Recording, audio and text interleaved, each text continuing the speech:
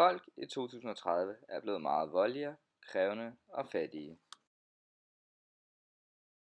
Som i dag står vi simpelthen med Hassan, og Hassan han er indvandrer, så vi vil have tænkt os at spørge om en hel masse ting. Hvad arbejder du nu med? Sort arbejde, kontanthjælp.